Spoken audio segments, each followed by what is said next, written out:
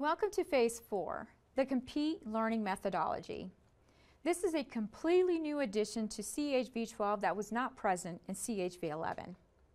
Now let's discuss the compete phase in the new learning methodology of CEHV12. What is really interesting about CEHV12 is that each month EC Council will be hosting CEH challenges, providing capture the flag style competitions.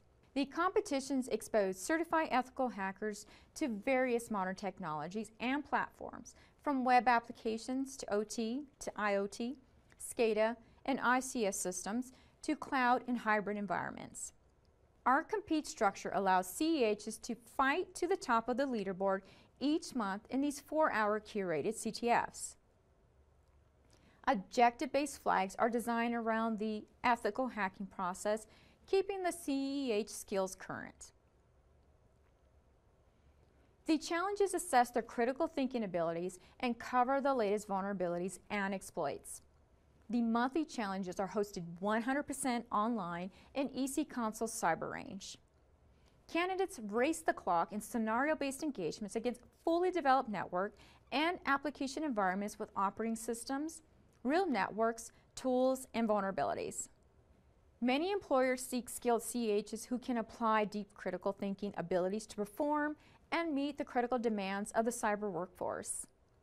Competing in monthly challenges will allow you to grow and take your skills to a new level.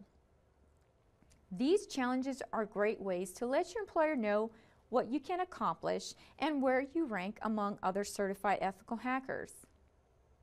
The top 10 performers will be displayed on our dashboard so every certified ethical hacker can see where you rank. The competitions will evaluate your abilities to troubleshoot various vulnerabilities and how to defeat persistent threats and attacks that are emerging in the cyber field. Competition drives you to be the best and keeps advancing your knowledge while sharpening your ethical hacking skills. You are probably asking yourself, how do the challenges work and what do they entail? Each month will present a different theme and challenge with capture the flag style competitions that focus on the core skills and abilities of ethical hackers.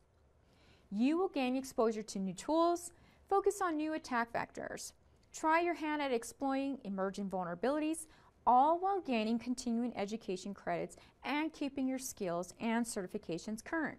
Here is a snapshot of the upcoming months for our challenges. September, ransomware. October, web app hardening.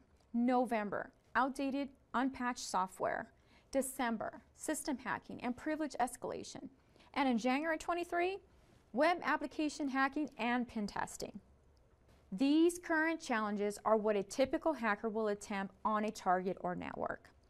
This is why it is important that participating in these monthly challenges will help you to be one step ahead of the attacker. Compete until everyone knows you. As an ethical hacker, you will battle your way to the top of the monthly leaderboard as you race the clock in these four-hour CTF challenges. They are open all month long. The choice is yours as to when you compete, but show up ready. So maybe you're asking yourself, what do I need to compete in these monthly challenges?